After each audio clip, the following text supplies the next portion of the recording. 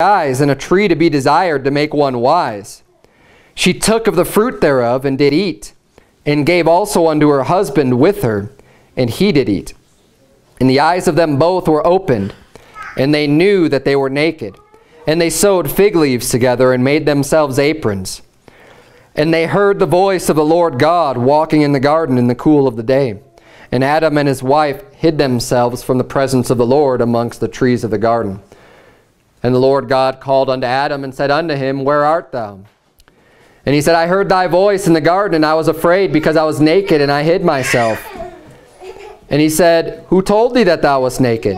Hast thou eaten of the tree whereof I commanded thee that thou shouldest not eat? And the man said, the woman whom thou gavest to be with me, she gave me of the tree, and I did eat. And the Lord God said unto the woman, What is this that thou hast done? And the woman said, The serpent beguiled me, and I did eat. And the Lord God said unto the serpent, Because thou hast done this, thou art cursed above all cattle, and above every beast of the field. Upon thy belly shalt thou go, and dust shalt thou eat all the days of thy life. And I will put enmity between thee and the woman, and between thy seed and her seed. It shall bruise thy head, and thou shalt bruise his heel. Unto the woman he said, I will greatly multiply thy sorrow and thy conception. In sorrow thou shalt bring forth children, and thy desire shall be to thy husband, and he shall rule over thee. And unto Adam he said, Because thou hast hearkened unto the voice of thy wife, and hast eaten of the tree of which I commanded thee, saying, Thou shalt not eat of it. Cursed is the ground for thy sake. In sorrow shalt thou eat of it all the days of thy life. Thorns also and thistles shall it bring forth to thee, and thou shalt eat the herb of the field. In the sweat of thy face shalt thou eat bread, till thou return unto the ground, for out of it wast thou taken. For dust thou art, and unto dust shalt thou return. And Adam called his wife's name Eve, because she was the mother of all living. Unto Adam also unto his wife did the Lord God make coats of skins and did clothe them. And the Lord God said, Behold, the man is become as one of us to know good and evil. And now, lest he put forth his hand and take also of the tree of life and eat and live forever. Therefore the Lord God sent him forth from the garden of Eden to till the ground from whence he was taken. So he drove out the man, and he placed at the east of the garden of Eden cherubims and a flaming sword, which turned every way to keep the way of the tree of life. Let's pray. Dear Heavenly Father, Lord, we thank you so much for your words and for this opportunity to meet once again in your house tonight. God, I pray that you would please just fill me with your spirit, your power. Lord, help us all to understand. Speak to us through the Holy Ghost. God, help me to make your words plain and um, help us all just to be listen, listening and attentive and uh, that we wouldn't let the cares of this world and other events going on around us or, or going on tonight later um, distract us from being able to focus and, and really hear what you'd have for us to learn tonight. God, I pray that you would please just, just be with us and teach us tonight. In Jesus' name we pray. Amen. Amen. All right, Genesis chapter number 3.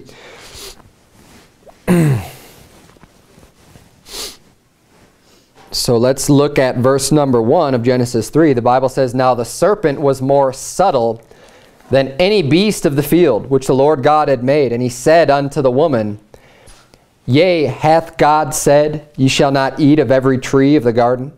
Now, um, here we see the serpent.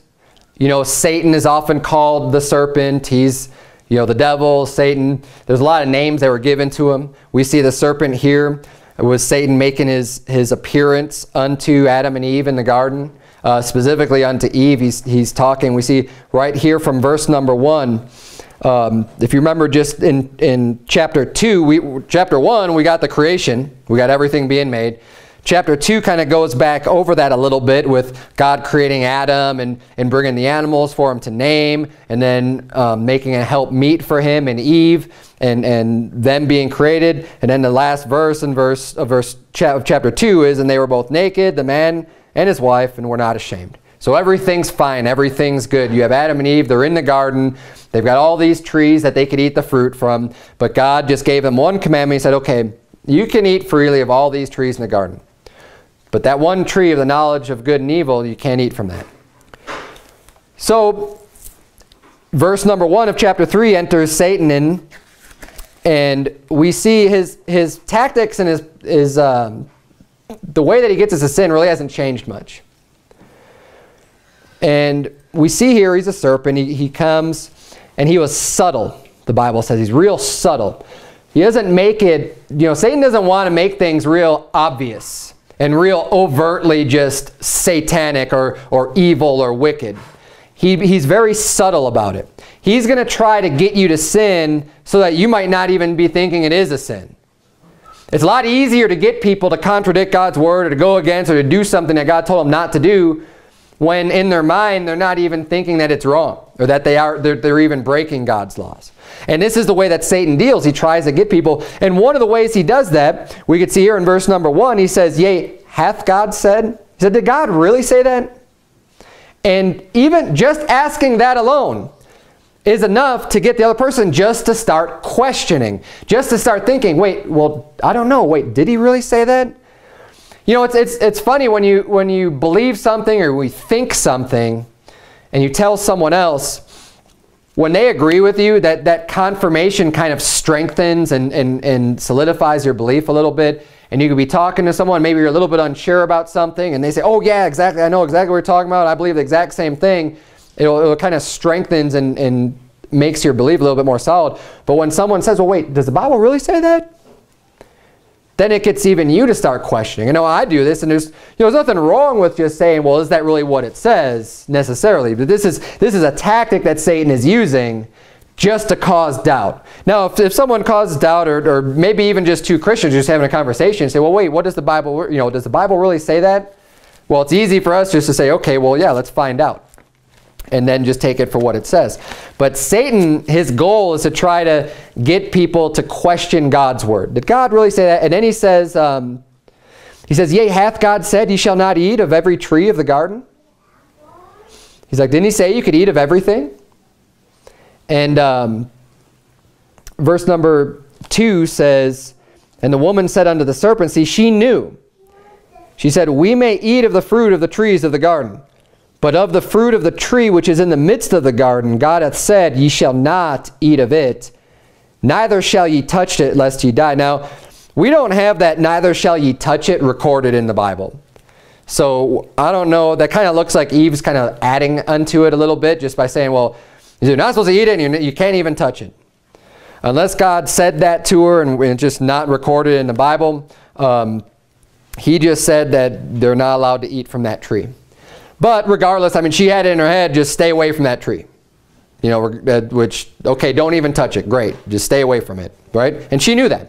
And that's, she tells the serpent, no, this is what God said, right? Verse number three says, But of the fruit of the tree which is in the midst of the garden, God hath said, You shall not eat of it, neither shall you touch it, lest you die. Verse number four. And the serpent said unto the woman, Ye shall not surely die. So now she starts off by saying, Well, did God really say that? And then he just comes out and flat out contradicts and says, you know, you're not, you're not really going to die. You're not surely going to die. It's not a sure thing. And Satan has been doing this for all time. He's always questioning God's word. That's why we have so many different Bible versions out there today. He's trying to cause this confusion among believers and among people who aren't saved to just question, well, what did God really say? How do I know what the truth is? By, by having this whole multitude of different versions to choose from that all say different things. Well, which one's the right word? And not only that, then contradicting God's word. And that's what all these, these modern versions are doing. They are in contradiction to God's word. They're saying different things. But um, look, at, look at what he says here in verse number 5 because now he tries to make this sin real appealing.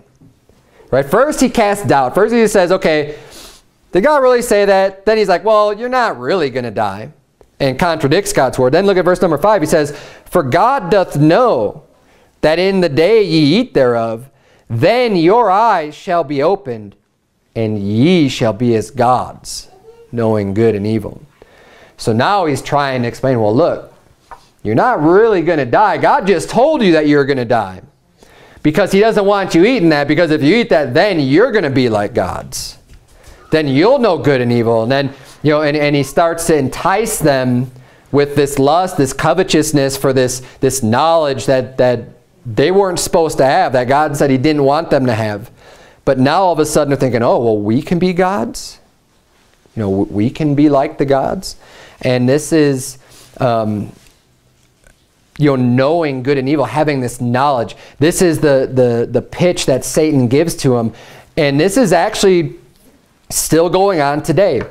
It's called Luciferianism. It's, it's people who worship Lucifer.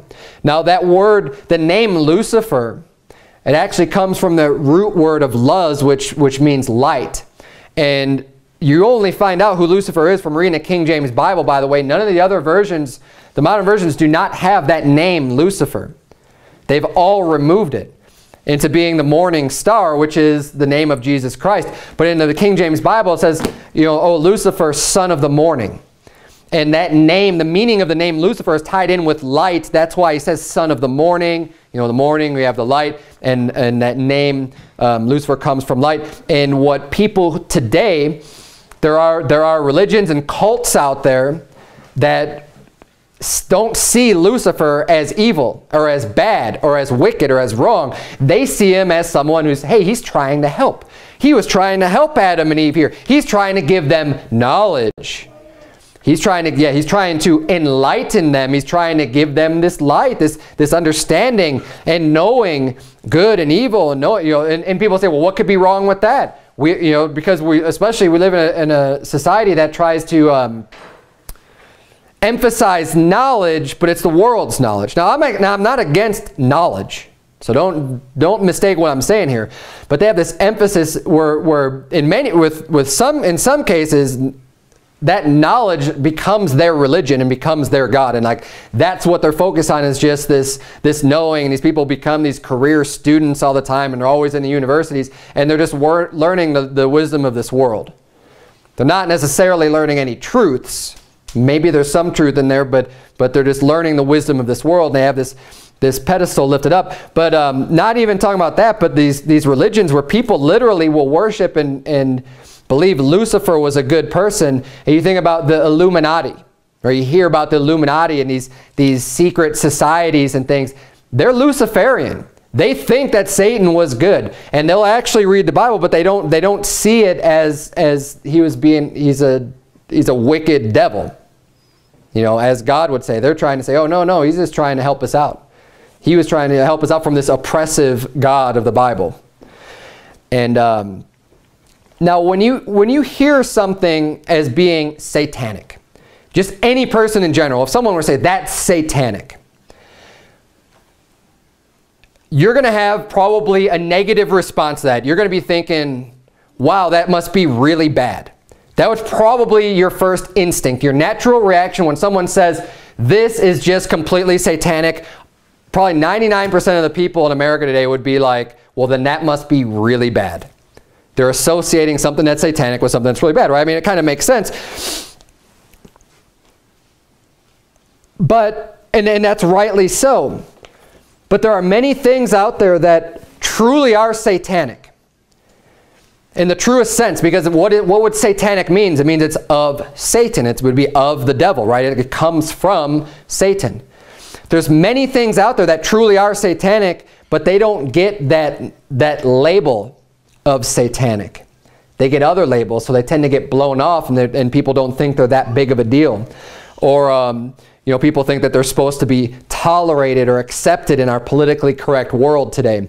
Um, look at what the serpent was telling Eve. He was telling her that she would increase her knowledge and be as gods, right?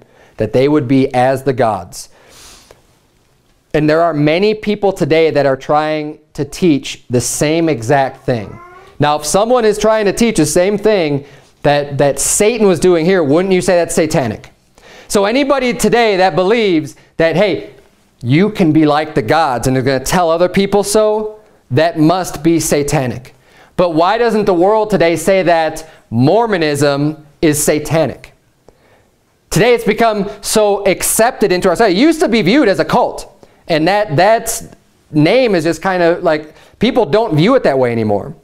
It's been pushed through media and everything else to the point to where, you know, we could have a, a person one of the front runners running for president that is a Mormon, that is a part of this cult, that subscribes to this cultish, satanic religion. Yes, it is satanic. And as people say, oh, no, no, no, they're Christian. And as we try to say, no, we're Christian. We're just like you. No, you're of the devil. You're satanic. What you believe is satanic because you believe that you will one day become your own God. That's exactly what the devil was telling Eve. Say, hey, eat of this fruit, you'll be like the gods. Hey, join our church, you'll be a god one day. That's satanic, my friends. That's exactly what Satan was telling Eve. There's other cults out there too that, that believe almost the same exact thing. People who don't even have anything to do with Christianity, like these transhumanists, and people want to merge, you know, humans with machines and try to get their eternal life that way somehow by downloading their brain. And there's all, there's all kinds of crazy stuff out there today. And they're all wicked and satanic people trying to come up with their own ways to, to get eternal life or, or to become gods. But this is what, the, what these Luciferians and Illuminatis are all about. They're all about becoming your own gods and about gaining this enlightenment as if it's a good thing.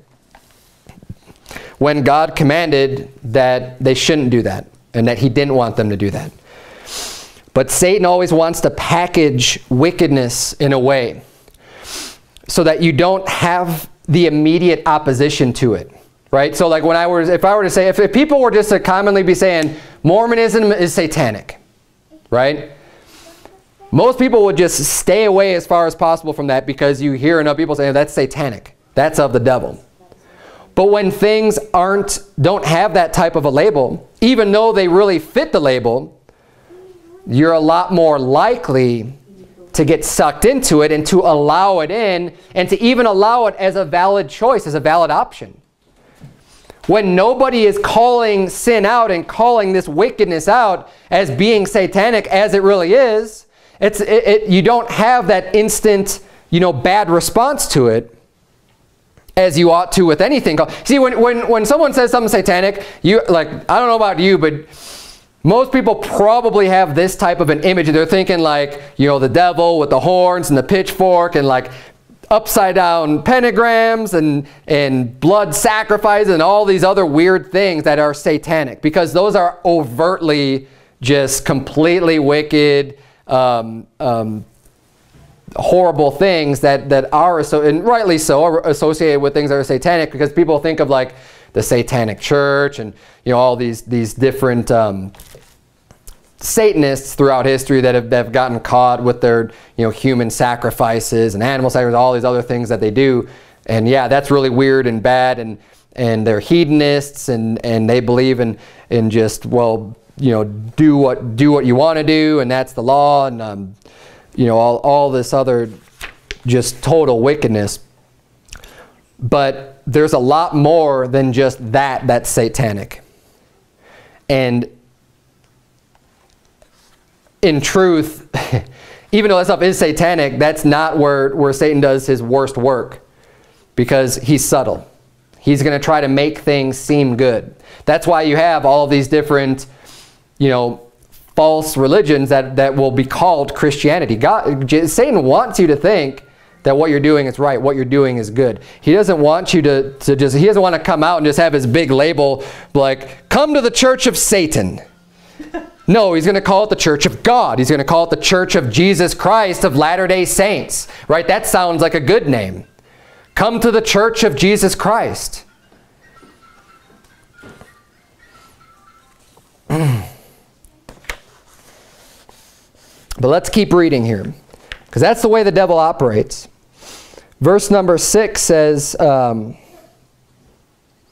and when the woman saw that the tree was good for food and that it was pleasant to the eyes, and a tree to be desired to make one wise, she took of the fruit thereof and did eat, and gave also unto her husband with her, and he did eat.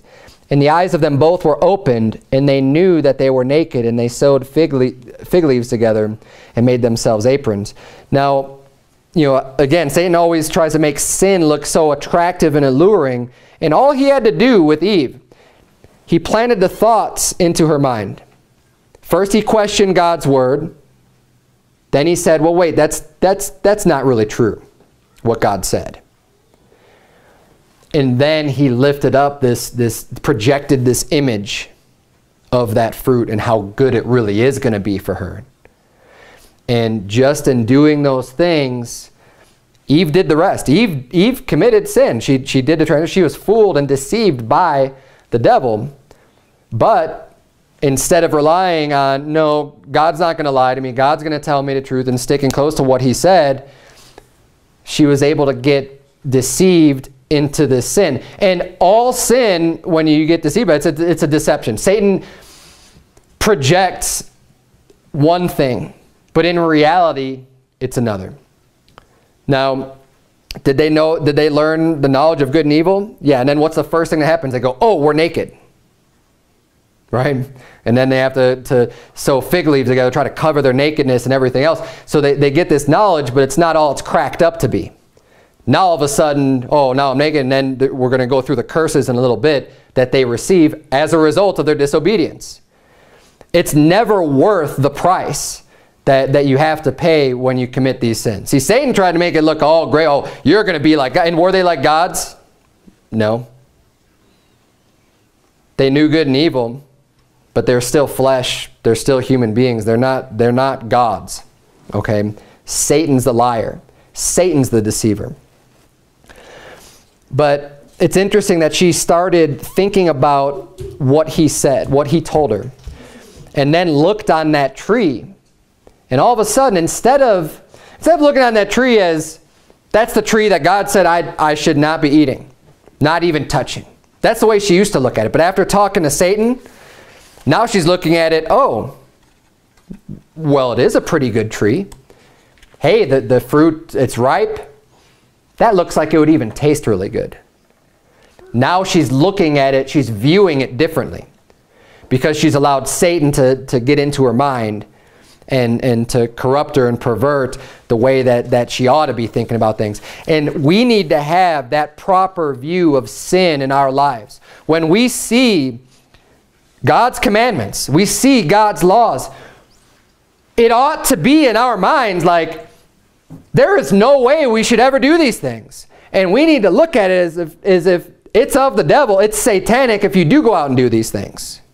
Because Satan's the one that's going to try to get you to disobey God's word. Instead of looking at it with compassion and saying, oh yeah, well, it's not that bad, and making excuses and everything else, or justifying your own sins. Anytime you're, you're going against what God told you to do, or what God told you not to do, either way, it's satanic. And you shouldn't be doing that. And we need to have this proper view so that we wouldn't even come close to committing these sins and not allow ourselves, our minds to be polluted by Satan, by the satanic influences of the world, by the media, by, by everything that's going on in the world today to, to desensitize you or to get you to look at sin in a different light, in a positive light.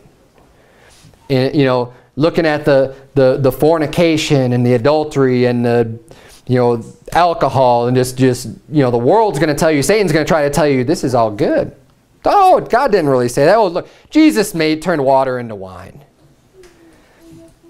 And that's what they'll do. They'll use those. They'll try. To, that says in the Bible, wine. Yeah, it's good to have wine. God didn't really say that that not to look on it. He didn't say that. Yes, he did, but that's what the devil's going to try to do. And the more you allow that to to come into your brain, it's going to influence you. And um, so, one, be careful who you keep company with, and, and just in general, you know, having having these long conversations with. But um, we need to just make sure, no matter what, that we're founded in God's Word, and that we wouldn't be strayed as easily as Eve was, to just be able to say, no, I know what God said, and to be able to withstand those attacks from the devil. Because they're going to come, and you can never just completely prevent it unless you just lived all by yourself somewhere and had no communication with anyone, which is not what we're supposed to do anyways.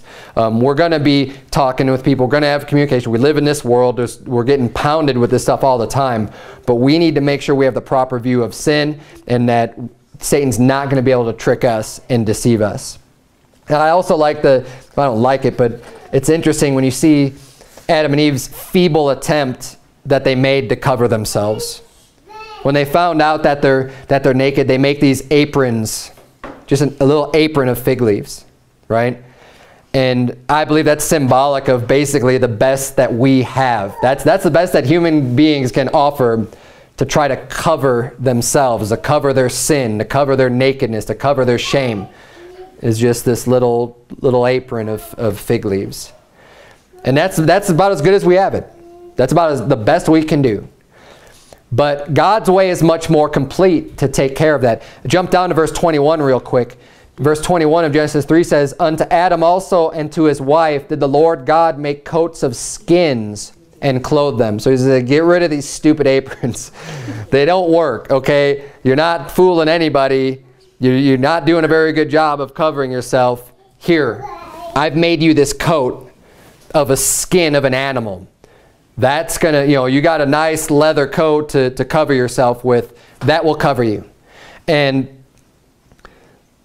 you think of going back now to what I was talking about with Genesis chapter 2, what was the punishment for eating of the tree of the knowledge of good and evil? Is death, right? And we kind of went over this. I, I, I spent a, quite a bit of time going into the fact that we have three parts, body, soul, and spirit. And when they, when they broke the commandment, they didn't physically just drop dead on the spot when they, when they ate of that fruit, did they? No, they, they, but they did die. God commanded, and, and that was his punishment. He says, you're going to die. They spiritually died when they disobeyed God's commandment, when they sinned. And it's no different for us today. When, when, when we sin, we spiritually died. But we see the foreshadowing of a Savior right in this verse, in verse number 21, with Adam and Eve being clothed with skins. Because in order for God to cover them with the skin of an animal, the blood needed to be shed for that animal. And a sacrifice had to be made in order to, to cover up the sins of Adam and Eve. That blood had to be shed. And Jesus Christ, as Jesus Christ would one day be the lamb slain from the foundation of the world, for his blood to cover them and to give them that they might be clothed upon. And um, to cover their shame and their nakedness. And, and we see that right from, right from Genesis chapter 3. It's, a, it's an illustration, it's a picture of that gospel of, of the blood of Jesus Christ to come and to take away the sins of the whole world. And um, let's, but let's keep reading here. Let's go back to verse number 8. The Bible says, And they heard the voice of the Lord God walking in the garden in the cool of the day, and Adam and his wife hid themselves from the presence of the Lord amongst the trees of the garden. It is another common reaction to sinning. When, you, when you're involved in sin, you know you've done wrong. You know, the first thing was they're trying to cover it up. Right? They tried to cover it up with their aprons. And then they try to hide themselves from God. Because they're ashamed. I mean, I can understand it. When you do something bad, when you do something wrong, or when you do something wrong to someone else, oftentimes you try to avoid that person right? You're ashamed. You, you feel guilty. And I don't, I don't even want to see that person. When you've done wrong to them, right? You don't want to, you, you just kind of want to avoid it. Well, that's what they're doing from God. But the thing is, once you, when you do wrong against God, you can't run away from God. You can't hide from God. It's kind of a silly thing to try to do, even though I can understand the reaction, which is very common when we sin. But the Bible says in Jeremiah 23, 23, says, Am I a God at hand, saith the Lord, and not a God afar off? Can any hide himself in secret places that I shall not see him, saith the Lord? Do not I fill heaven and earth, saith the Lord. God's like, I fill heaven and earth. You can't contain me. You can't hide from me. You know, you can't hide under your covers in your bed and I'm not going to know you're there. Right? You can't, you can't run away to some other country or, or dig a pit or dig into the wall, the side of a mountain and I'm not going to see you. You can't go to the bottom of the ocean. It's like, I'm there. You can't get away from God. There is no hiding from God. Now, um, in verse number 9 of Genesis 3, it says, And the Lord God called unto Adam and said unto him, Where art thou? And he said, I heard thy voice in the garden, and I was afraid, because I was naked, and I hid myself. And he said, Who told thee that thou wast naked? Hast thou eaten of the tree whereof I commanded thee, that thou shouldest not eat? Now, did God really need Adam to tell him where he was, or who told him he was naked? Of course not. God already knows the answers to these questions. But this is how God deals with us sometimes as human beings. Obviously, God knew the answer, but, um, and this is actually, I mean, it's the same way that I deal with my children sometimes, right? I could, I could know what has happened. Kids do something wrong, they disobeyed, they, um, you know, they made a big mess or whatever. And not always, but sometimes I know, I know who did it and I know, I know what happened. But you ask the question anyways because there's a reason for it. You're making a point, right? Um, God's making a point and he's, and he's asking, wait a minute, you know, who told you we were naked? And um, he needs, he wants them to fess up. And, and that's part of, the, part of getting right with God is confessing and forsaking our sins. So he's given them this opportunity to say, okay, God, we did wrong. We've, you know, so that they can get right with God again. And um, that's oftentimes the reason why I, um, I'll ask my children because I want them to tell me so that they could just fully understand I've done wrong. They need to be able to actually say it because you try to hide as much as possible because you don't want to just come out and say it. But it's important part of getting right again of being able to admit that you've done wrong. Just like with salvation, I mean, we need to be able to get to the point where we could admit I'm a sinner. We have to get to the point where we can admit, I can't go to heaven on my own. I'm not as good as I think I am. I need a Savior. I deserve hell.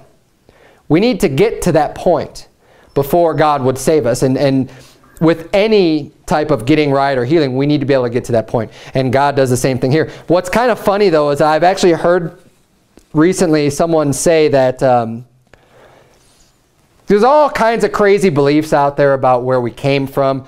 I believe the Bible. I believe that mankind spawned on this earth from Adam and Eve. I don't believe that God made all kinds of different people and then the, you know, the, that the whole earth was, was spread from all these different people. I believe what the Bible says about Adam and Eve, that, they, that Eve was the mother of all living. I'm going to get to that in just a second, but um, that the whole earth was overspread. But one of the proofs that these people will say that, oh no, it's not just Adam and Eve because God asked them, who told thee that thou wast naked? So they make this assumption, well, if God's saying who told thee, then there must have been other people walking around in order to tell him for God to even ask that question. Well, it's stupid because they're making a false assumption. First of all, we already saw from this story that the serpent was able to speak. Right? So right away, we know that the serpent is able to speak. So just because the serpent's able to speak doesn't mean there's other human beings walking around.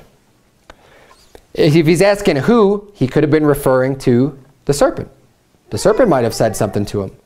Right? I mean, it could, it could have been anything else, but it doesn't necessarily imply that there has to be other people walking around. And like I said, God already knew the answer. He didn't need him to tell him. But um, he was making a point out of that. But that's one of their proofs. And um, I think that's just pretty silly that, that they'll even use that as a, as a proof that there must have been other humans around. But because you, you just you can't get that from, from that verse. Look at verse number 12. It says, The man said, The woman whom thou gavest to be with me, she gave me of the tree, and I did eat. And the Lord God said unto the woman, What is this that thou hast done? And the woman said, The serpent beguiled me, and I did eat. Now here we see another common reaction when confronted with our sin, the blame game. Right? All right, Adam, you know, who told you you're naked? Well, um, he's like, did you eat of the tree? Well, you know, the, the woman, you, you gave me the woman, God. This woman that you gave me, yeah, she gave me of the tree and I did eat. And then when God talks to the woman, the woman says, you know, what have you done? And the woman says, well, the, the serpent, the serpent tricked me. He beguiled me, and I did eat. And that's that's and you know this is this is again it's common when when we're confronted with our sin. You don't want to own up and just take ownership and say, "Yeah, I've done wrong." It's really easy to just start blaming other people and start trying to push the blame off yourself as much as possible. But you know, we really ought not to do that. We ought to just confess and and, and forsake it, like I said. But um, so Adam blame, blames Eve, Eve blames the serpent, but God holds them all responsible. So don't ever forget that. You could say, well, you know, Eve was tricked. She's still responsible. She knew God's word. She went against it. Yeah, she was tricked. She was told lies. But God still held her responsible. Adam was held responsible. And the, the, the, the serpent was held responsible too. You say, well, the serpent didn't even eat of the fruit. Yeah, but he was the one that caused Eve to do it. God cursed all three of them. And, um, you know, be careful with, with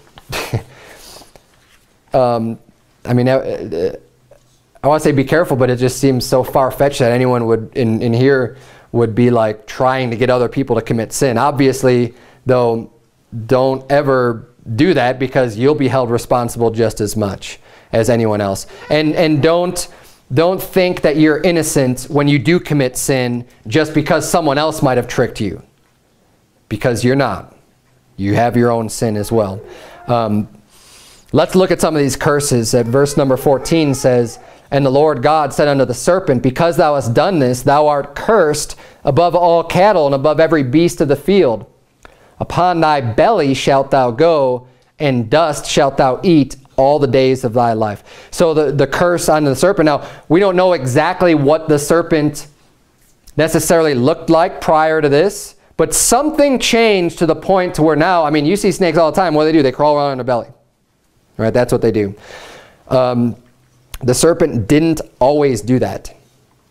Whether he had legs or arms or just was able to, I, I don't know. And I'm not going to claim to know. And people have debates and arguments about this and stuff. I think it just that's another silly thing. We don't know, but we do know that the curse was that that, that serpent is going to crawl around on his belly um, and eat dust. And then verse 15 says, And I will put enmity between thee and the woman, and between thy seed and her seed. It shall bruise thy head, and thou shalt bruise his heel. Now, there's a lot of symbolism involved with these curses, especially with the serpent, and, and understanding that the serpent is representing Satan, or is Satan in the garden here. And um, But quite literally, there's still this curse of the serpent. Elizabeth, stop doing that there is this curse upon the serpent. We're going to see this curse as well on, um, on the man and woman. Look at verse number 16. He says, Unto the woman he said, I will greatly multiply thy sorrow and thy conception. In sorrow sh thou shalt bring forth children, and thy desire shall be to thy husband, and he shall rule over thee. So now we see the curse that was given unto the woman. He says, I'm going to multiply thy sorrow and thy conception. So, and he said, he goes on further to say, in sorrow shalt thou bring forth children. So prior to this, again, we don't know exactly what the plan was for, for reproduction, if there was, you know, whatever God's plan was. But because of this sin, God says, okay, now in sorrow you're going to bring forth children. And it is. Any woman who's had children before, it's not, it's not the, the happiest of occasions while you're bringing forth the child. Afterward, yeah, there's joy because a man is brought forth into the world and it's great and, and, and obviously we love it and we love having kids. But that, that process of bearing the child, carrying the child and bearing it, it's sorrowful. It's painful. There's a lot, there's a lot of, of pain and agony and grief that, go, that a woman goes through just in order to bring a child into this world. This is one of the curses that God has placed on woman because of Eve's sin. This is, this is what has been brought down. But the other one is, it says, And thy desire shall be to thy husband, and he shall rule over thee. So at this point, and turn if you would, keep your finger in Genesis 3, turn if you would to 1 Timothy chapter 2, because we're going to look at this a little bit further. God made it so that women will, their desire will be to their husband. And now you have a lot of feminazis today that'll they'll try to tell you, oh no, you know, women need to be independent and, and man and woman are, are equal and that, that there should be no authority in the house and that, you know, whatever, that, that they go against basically what the Bible says. But they're also going against nature. Because naturally speaking, God made it. Right here in this curse, God made, it says, your desire shall be to thy husband. So God is influencing the desire of a woman for her desire to be to her husband. And that's, I think it's pretty obvious when you look in general at the population, women follow their husbands. The husband is the breadwinner. The husband goes out and, and is the man generally is the one with the with the that's a strong leader. And women are generally followers and and and looking for a strong man and someone who's able to make those strong decisions and and and um, and follow a person like that. It's just something that's kind of in our nature, in human nature, as a woman to for a desire to be the husband. But then it says, and he shall rule over thee. So God's saying right here, I mean, it may be one of her curses, but he says, your, your desire is going to be to him, and he's going to rule over you now. And that's, that's the way it is. And this is the way it is today. But look at uh, 1 Timothy chapter 2, verse 9. We're going to apply this also within the church because... Um, it all ties together. 1 Timothy chapter 2, look at verse number 9. It says, In like manner also that women adorn themselves in modest apparel, with shamefacedness and sobriety, not with broided hair, or gold, or pearls, or costly array, but which becometh women professing godliness with good works. Verse number 11. It says, Let the woman learn in silence with all subjection. But I suffer not a woman to teach, nor to usurp authority over the man, but to be in silence. Now, he says, and then he goes on in verse 13, for Adam was first formed, then Eve. He's explaining why. Verses 11 and 12, he's saying, okay, let the woman learn in silence with all subjection, meaning she's, she's under someone else's authority, being in silence with subjection, and they're not allowed to teach. I suffer not a woman to teach or to usurp authority over the man, which means to take that authority that the man has been given and just basically override that authority and, and become an authority over the man. He says, no, but they're to be in silence. And he explains why. And the reason why is found in verses 13 and 14. He says, because Adam was first formed, then Eve.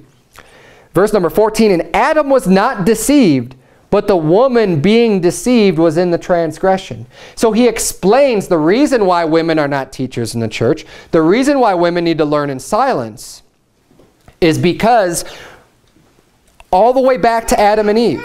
He says this goes all the way back to the beginning. The reason why is because Adam wasn't deceived.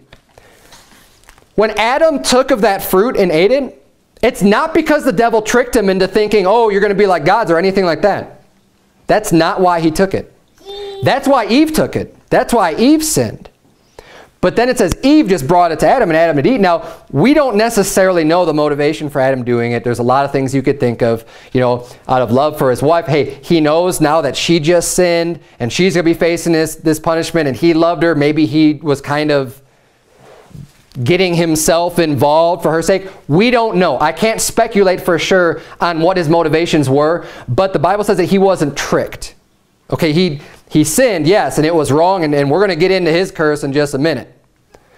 But he wasn't tricked. He wasn't deceived. So what, what he's explaining here in 1 Timothy chapter 2, you can flip back to Genesis 3, is that you know, women aren't allowed to teach because I think it's easier for a woman to be deceived, to be tricked by the devil. That's why the husband and the man has been ordained by God to be the, the, the leader in the household, the spiritual leader. And that's why pastors are men and not women. That's why the teachers in the church are men.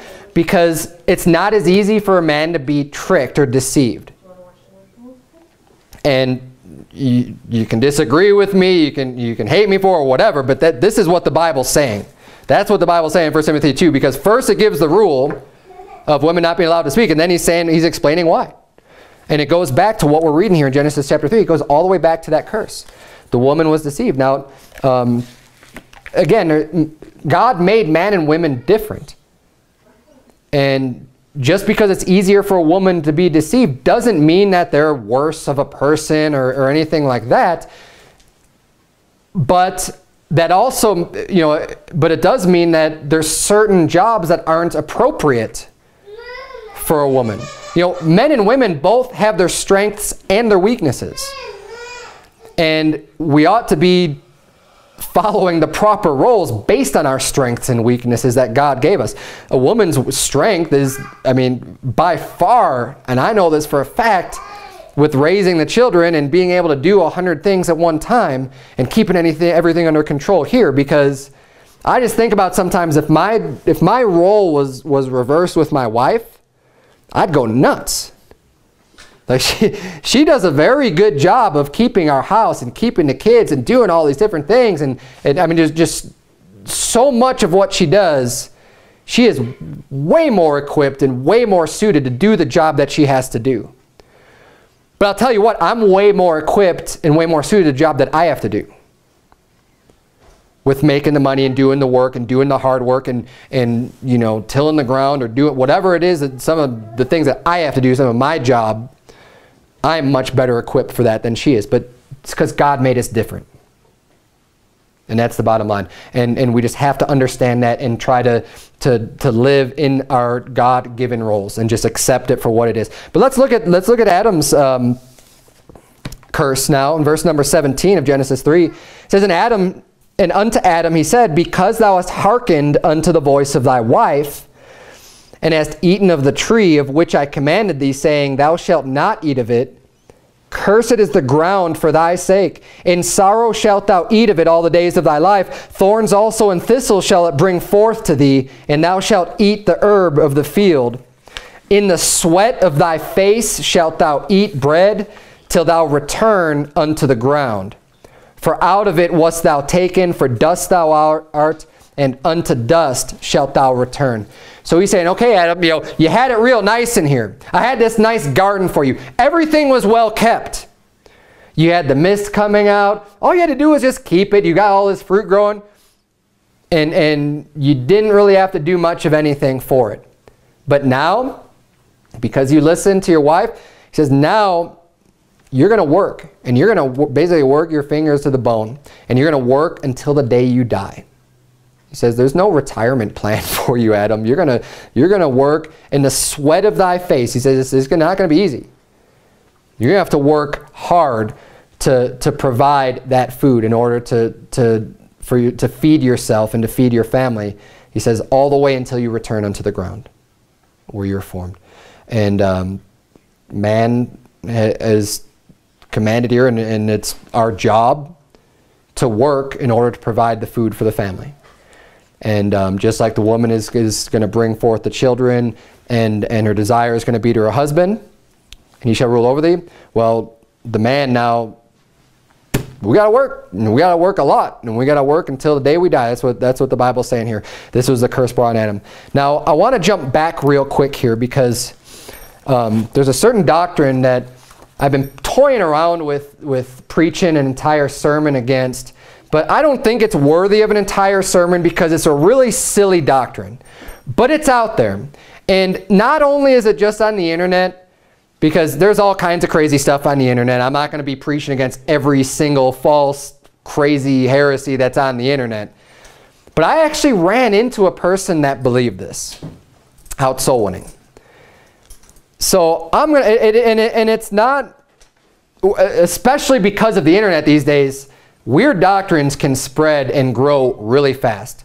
You think of like the Hebrew roots movement, like that was almost non-existent not that long ago and now it's like this big thing online because you know people get sucked into this weird stuff. But what the, the, the false doctrine or the false belief that I'm going to be preaching against is called serpent seed. Okay. Look at you would at uh, Genesis 3 verse 15. This is one the, this is the curse to the serpent. Okay? He says, And I will put enmity between thee and the woman, and between thy seed and her seed. It shall bruise thy head, and thou shalt bruise his heel. And um, just to explain what, what they believe, real, I'll try to do it real briefly. They believe that there's a lot more symbolism going on here with the fruit and the tree. And they believe that the Satan, that, that the serpent laid with Eve. And that the seed was produced because the, what, one of the things they'll say is that her seed, so like talking about woman, the woman doesn't have a seed, the man has a seed. So they're saying that, um, I don't even know exactly what, why they bring that up, but obviously, I, you know, a seed is talking about descendants. That's pretty apparent from the, from the context here. But um, what they say is that there's going to be enmity between thy seed and her seed. So when they say between thy seed, it's talking about this, this serpent seed, like literal seed of her being impregnated and bringing forth a child. And they say that was Cain. And then the man's seed, like, like Adam and Eve's seed, would be her seed, which would be um, Abel, right, and Seth. And they say that, so like, um, that there's this enmity now because you have these people who are really wicked that are, that are of the serpent seed, and these other people who aren't as wicked that are, are they're more righteous that are of you know Adam's seed and of, of the, the right seed. And it's really bizarre. it, it is. I mean, it's just how you can read Genesis 3 and, and come up with that. But Genesis 3.15 is like, this is like one of their strongest verses. See, it says the serpent seed right there. And, it, you know, and they come up with this whole crazy nonsense.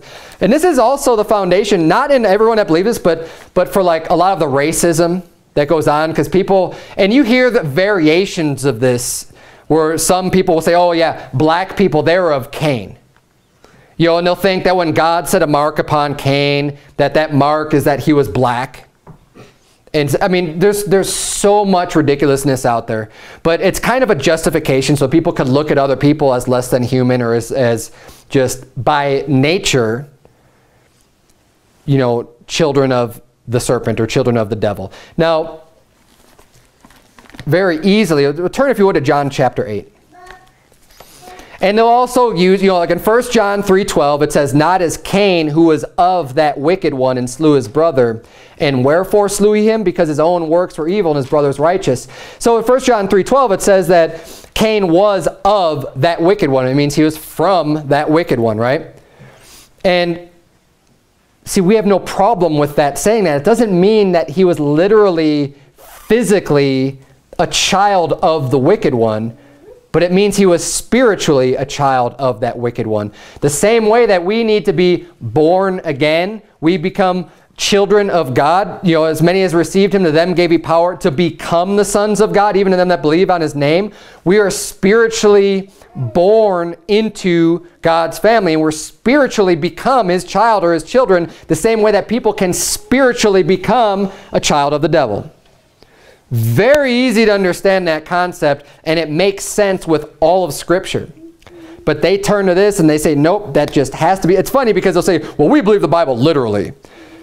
And, but then everything else is just an allegory, right? Like the, the, the fruit and all this other stuff that happens. Oh yeah, well that's just all an allegory to, to this act that supposedly, this bestiality supposedly that Eve had with, with the serpent or whatever. You know, like it's, it's ridiculous.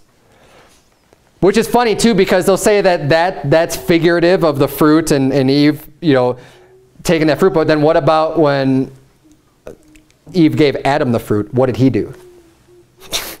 you know, are you gonna? They don't like to apply the allegory that way. Then, then all of a sudden it's like something different. I don't know. Um, but John chapter 8, look at verse number 39. It says, They answered and said unto him, Abraham is our father. Jesus saith unto them, If ye were Abraham's children, ye would do the works of Abraham. But now ye seek to kill me, a man that hath told you the truth, which I have heard of God. This did not Abraham. Ye do the deeds of your father. Then said they to him, We be not born of fornication. We have one father, even God.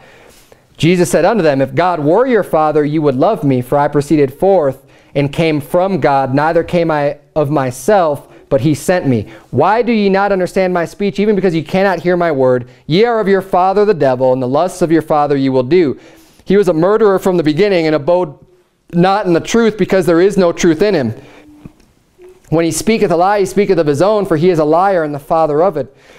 Here we have an example of Jesus Christ saying, you know, saying unto people that you're of your father, the devil. But these people he's talking to, they were physical descendants of Abraham. They were physical Jews. Like they, they had the genealogy to prove they were of that lineage, right? But what he's saying is that you're not a child of Abraham. You're not a child of God because I can tell because, you know, you you would do the works then of Abraham. You would, you would be like him. And he's talking about them being spiritually children of God or children of Abraham because Abraham did these good things. And um, they, they can't get their, their mind wrapped around this because they're like, well, we're not born of fornication. You know, we have our lineage. We have one father, even God. And see, even just here, you see, you see, at first they claim Abraham's their father, then they claim God as their father. The same way that I could claim that physically speaking, I have a descendancy and I have these fathers, and I, I, don't know anyone going back that far to name a name, but let's just say someone in my lineage was named Abraham, and I could say, well, I have Abraham to my father, but then I could also say I have God to my father, because I do, because I'm born again. God is my father.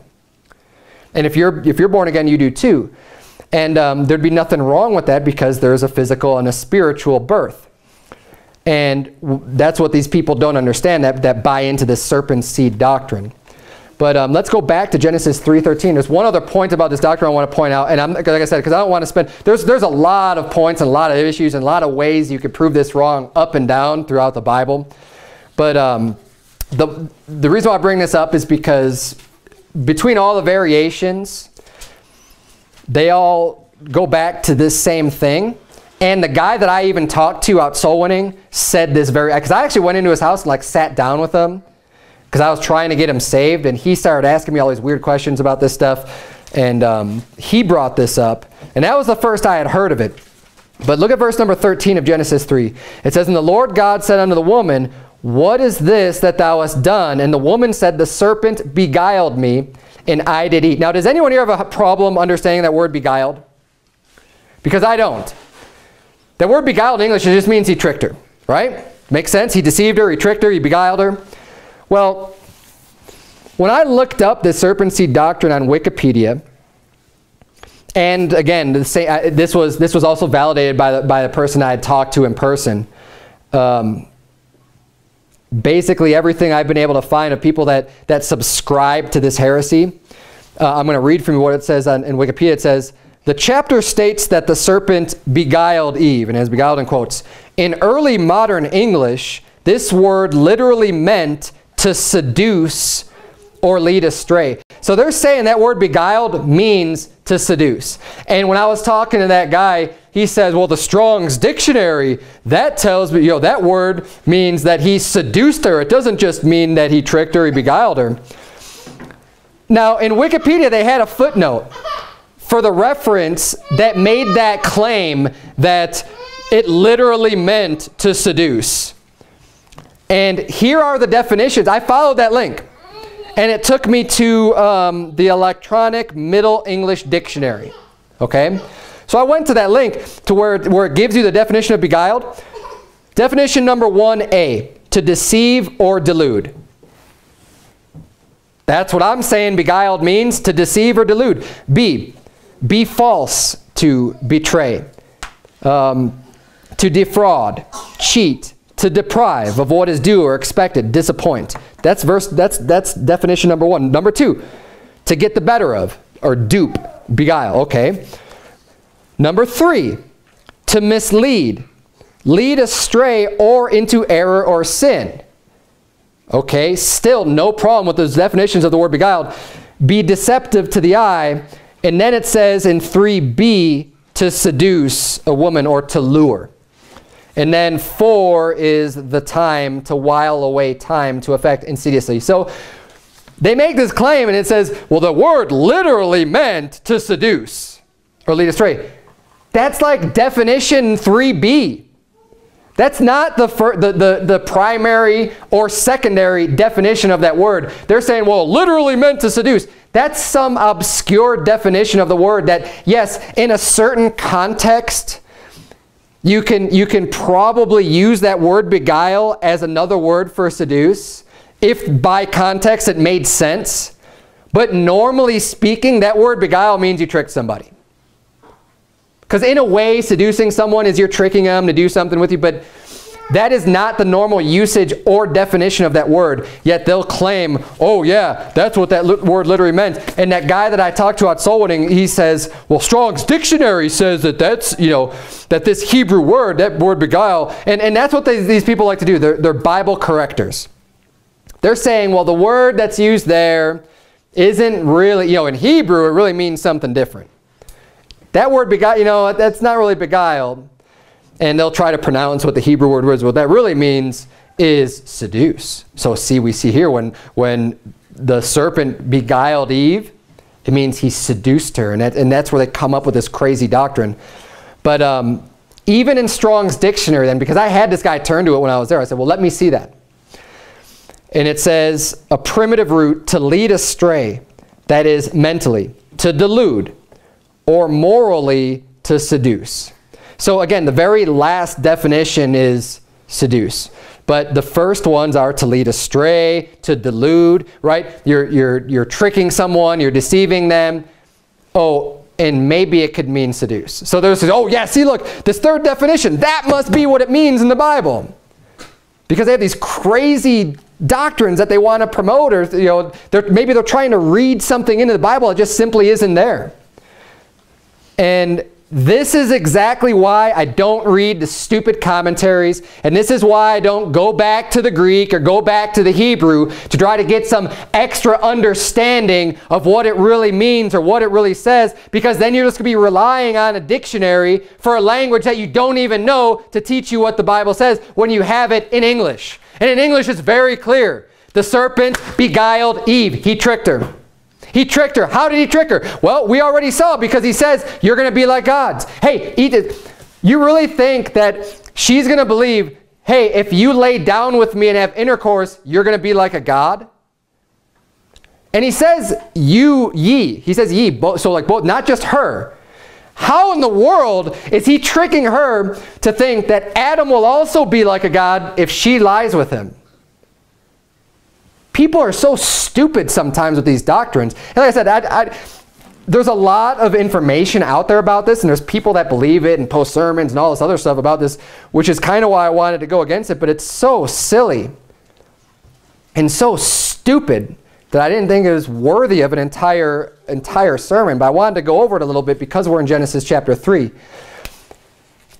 Now, Genesis 3.20 says, And Adam called his wife's name Eve because she was the mother of all living. All living. So that right there disproves that there was all these other people around besides Adam and Eve. No, there couldn't have been because Eve was the mother of all living. And they'll say, oh yeah, see if she's the mother of all living, then she was also the mother of these people who are the ch children of the devil or the children of Cain or you know whatever. And um, one other point I want to point out with Cain specifically because in chapter 4, and, and I don't know why, I don't know why people, any rational person can, can hold to this. Um, turn, if you would, to Genesis chapter 4 real quick. Verse number 1. It explains so clearly. It says, And Adam knew Eve, his wife. Now that word knew, and you could look it up, do a study on your, on your own of that word know, to know someone or to know them. The Bible isn't graphic when it talks about the, the relations between a, a, husband and a wife.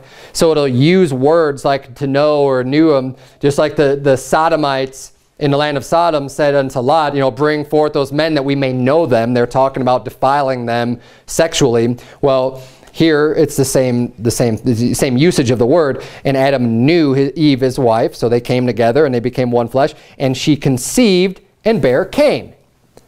What in the world would make you think that that had anything to do of the serpent when it says right clear in that verse, Adam and Eve, they came together, he knew her, she conceived, and Cain was born. Like that is the, the sequence of events. Yet these people still say, no, no, no, no, that was from the serpent. Because he beguiled Eve. How stupid can you be? The Bible clearly says in chapter 4, verse 1 that Cain came directly as a result of the conception of Adam and Eve when, he, when Adam knew his wife. It's, it's ridiculous. But, um, you know, they were the, Adam and Eve were the first people, and from them spawned the whole world. And see, these people have a hard, hard time grasping and understanding. They'll say, they'll look around and say, like, well, why do we have, we have Asians and, and blacks and, um, you know, Hispanics and whatever, all these different types of people, right? And we're all different colors. You have people really, really dark and really, really light and everything in between. And people with different complexion and, and hair and, and, you know, whatever. All these different characteristics, you know what they are. And they'll say, well, how could that all come from two people? So their lack of understanding of how that can happen, what they do then is in order to reconcile that, they just start coming up with bizarre theories and start saying, well, there must have just been, God must have just created a whole bunch of other people on the earth. And then they have to deny the Bible and say, well, no, when the flood happened, then, um, you know, not everybody was really killed. even though the Bible says that everything that had breath in it died in the, in the flood, except for those that were on the ark. And those that were on the ark were, were Noah's family, his sons and their wives. So, um, which really isn't much different than Adam and Eve starting everything. They restarted all of the, the human population on this earth was from, the, from um, descendants literally of, of Noah. But, um, you know, people just can't comprehend. They don't know the science behind it. They don't know um, how it's possible that you can have these different races today. But um, I just believe the Bible. I believe it for what it says. And it says that Adam, that Eve was the mother of all living, and that's why Adam called her that. But let's um, let's finish up real quick. We're, we're, we're going to wrap up. We got a few verses left. Verse 22, Genesis chapter 3 says, And the Lord God said, Behold, the man is become as one of us, to know good and evil. And now lest he put forth his hand and take also the tree of life and eat and live forever. And this is real interesting. There's only a few places in the Bible that, that do this where it just kind of stops. The sentence just, it's an abrupt stop. He doesn't finish the thought. He just says, unless, you know, unless, um, lest he put forth his hand and take also of the, the tree of life and eat and live forever. Therefore the Lord God sent him forth from the Garden of Eden to till the ground from whence he was taken. Um, there's, a, there's a section where Moses does the same thing and um, where he's interceding for the people, where he says, and if not, and then just kind of like stops, and there's just like this dash. And um, so I think that's kind of interesting. But I don't want to get, there's, there's a whole lot we could probably get into with this, where he says, behold, the man has become as one of us, because people will, will think, oh, see, he's automatically, they automatically assume that God is talking about the angels, because he says us, to know good and evil and all this other stuff. I don't believe that. I believe that, that, that us is the same us that, that he's referring to in Genesis chapter 1 when he said, um, let us make man in our image. And in the image of God created he man. And um, it's the Trinity. It's the Father, Son, and the Holy Ghost. He's saying, you know, um, behold, the man has become as one of us um, to know good and evil. In the way, he's become of us in this way to know good and evil right? That's what he's saying. In this sense, he knows good and evil. So now, he could easily just live forever if he takes of the fruit, but he sinned, so the, the, the way, the path of salvation wasn't as simple now to just eat that tree of the, you know, eat that fruit in the garden that was physically, literally there. He's, he's saying now we got to kick him out because he sinned and salvation is coming a different way and his eternal life and he's got to live with the, the consequences of his sin here.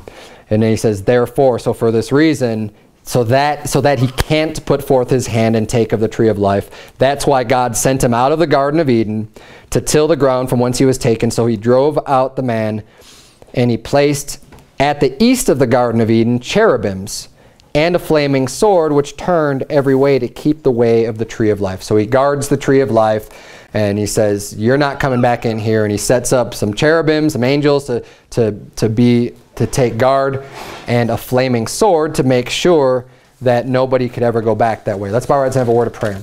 Dear Heavenly Father, Lord, we thank you so much for the Bible and for your words, Lord. I pray that you would please just um,